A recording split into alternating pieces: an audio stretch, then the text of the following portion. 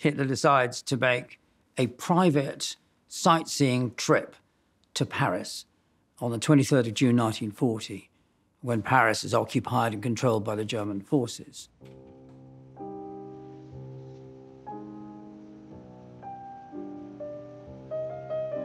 They tour the Arc de Triomphe, they walk around the artist's quarter in Montmartre.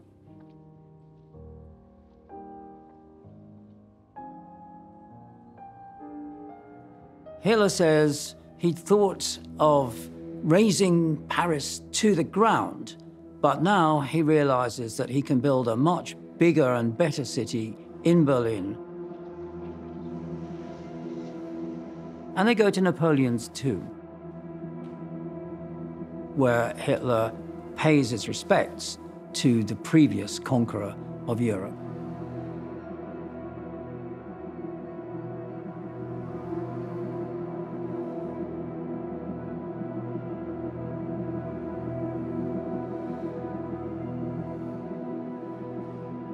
Hitler stands for a long while in front of Napoleon's sarcophagus.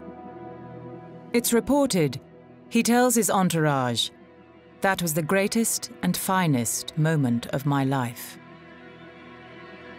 He's paying his respects to Napoleon, but also, I think, declaring privately to himself that he's going to surpass his achievements. Napoleon Bonaparte had once tried to conquer the world, but his armies got stuck in the harsh Russian winter.